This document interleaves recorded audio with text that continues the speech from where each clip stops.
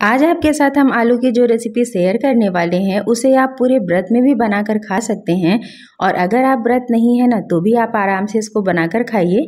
बहुत ज़्यादा टेस्टी लगता है।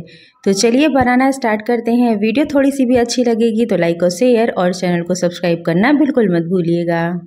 तो यहाँ पर हमने पाँच से छः आलू ले लिए हैं मीडियम साइज़ के हैं ये, और इनको जो है पानी से साफ़ करने के बाद इसका हम छिलका हटा लेते हैं और उसके बाद फिर से इसे एक बार साफ़ कर लेंगे अच्छे से। क्योंकि ये हम व्रत के लिए बना रहे हैं, आप इसको बिना व्रत के भी बना सकते हैं, और ये इतना ज़्यादा इजी है ना, और इतना टेस्टी लगता है कि कि हमेशा आप इसे हर व्रत में खाना पसंद करेंगे। तो आलूओं को देखिए, हमने इसका छिलका हटा लिया है। अब इसको इस तरीके से गोल टुकड़ों में कट कर लेते हैं और इसकी जो थिकनेस है ना, वो हमें बहुत ज़्यादा पतली नहीं रखनी है और बहुत ज़्यादा मोटी भी नहीं रखनी है। तो मीडियम ही रखिएगा, देखिए, इस तरीके से इसे कट करते जाना है। और काट काट करना, इसे हमें पानी में रखना है, जिससे कि जो आलू है ना, वो काले भी ना पड़े। तो इसीलिए हमने पानी का एक बोल ले लिया है, सारे आलूओं को हमने कट कर लिया है। अब इसे एक बार अच्छे से पानी से साफ़ करके फिर इसको स्ट्रेन आउट कर लेते हैं। तो ये देखिए, इसके जो पीसेस हैं, इस तरीके के कट किए हैं हमने। मतलब बहुत पतला नहीं रखना है, आप थोड़ा मोटा रखेंगे, चलेगा।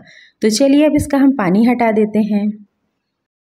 तो इसको हमने पानी से छान लिया है और ये देखिए, इसके जो टुकड़े हैं ना, ऐसे ही आपको रखने हैं। तो चलिए, अब हम बैटर तैयार करते हैं।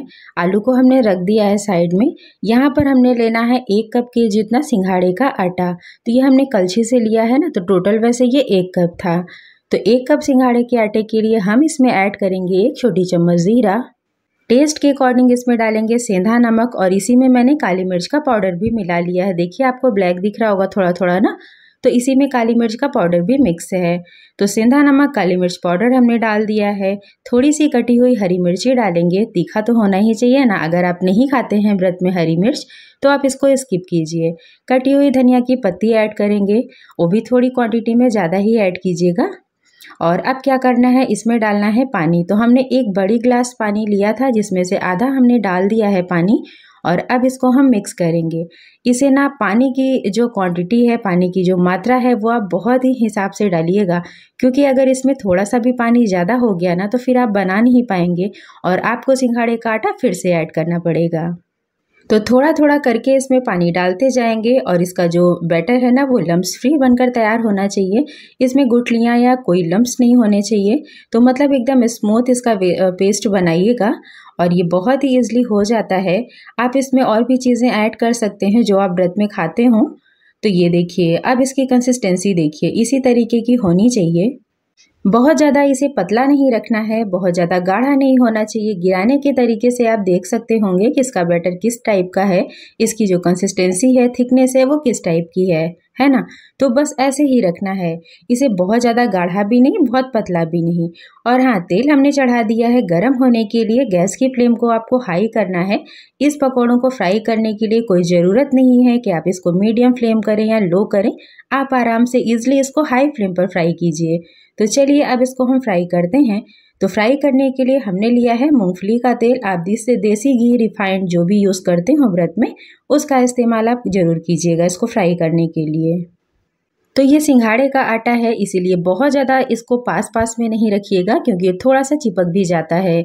तो हाई फ्लेम पर इसे फ्राई करना है ना तो बहुत प्रॉब्लम आपको नहीं होगी बनाने में, और ये बहुत ही आसानी से फ्राई होंगे। आलू की थिकनेस इसीलिए हमने थोड़ी मोटी रखी है, और बहुत ही जल्दी ये कुक भी हो जाएँगे। तो एक साइड से अब इसको पलट देते हैं, दूसरे साइड भी, हल्के से ये फ्राई हो गए हैं। तो इसी तरीके से पलट कर दोनों साइड से हमें इसे अच्छा क्रिस्प कर लेना है। और ये ना इसमें आपको कोई प्रॉब्लम नहीं आएगी, बस इसका बेटर है। अगर आप गाढ़ा कर देंगे ना तो फिर ये बन तो जाएँगे, लेकिन खाने में ना उतना टेस्टी नहीं लगता है, क्योंकि बहुत ही मोटा सा लेयर हो जाता है ना सिंघाड़े के आटे का। तो इसी तरीके से हम सारे पकौड़ों को पलट देते हैं और इसको हाई फ्लेम पर आराम से फ्राई कीजिएगा। व्रत के लिए तो बहुत ही सिंपल सा ये नाश्ता है। आप इसको व्रत में ज़रूर इंजॉय कीजिएगा। तो देखिए कितना प्यारा सा कलर आ चुका है ना, बहुत ही अच्छे से क्रिस्प हो चुके हैं ये। और इसी तरीके से हम सारे आलू के पकौड़ों को फ्राई कर लेंगे। और ये देखिए, कितने ज़्यादा ये फूले फूले हैं ना। लग रहा है कि इसमें हमने कोई सोडा वगैरह नहीं डाला है, उसके बाद भी कितना ज़बरदस्ती ये फूला हुआ है ना। और कहीं से न फट रहा है, न टूट रहा है तो कोई प्रॉब्लम आपको नहीं आएगी, आप देख सकते हैं। तो चलिए, अब इसको हम निकाल लेते हैं एक प्लेट में। वैसे व्रत में आपने बहुत तरीके की रेसिपी बनाकर खाई होगी। एक बार ये बहुत ही आसान सी सुपर टेस्टी रेसिपी को ज़रूर ट्राई कीजिएगा और ये शायद ही कोई होगा जिसे नहीं पसंद आएगा।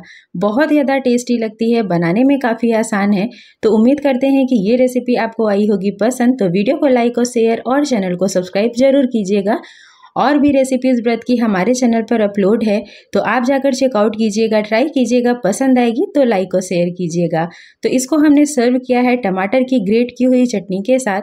इसको हमने बहुत बारीक चटनी को नहीं पीसा है ग्रेट किया है जिससे इसका टेक्स्चर देखिए बहुत ही गजब का लग रहा है।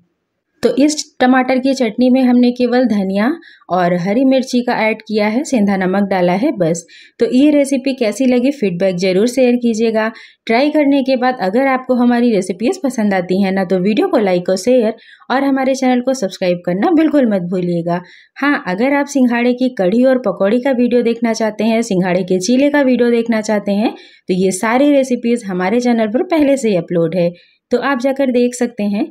और इसी तरीके की बहुत ही ईजी इंटरेस्टिंग रेसिपी के साथ मिलते हैं नए वीडियो में।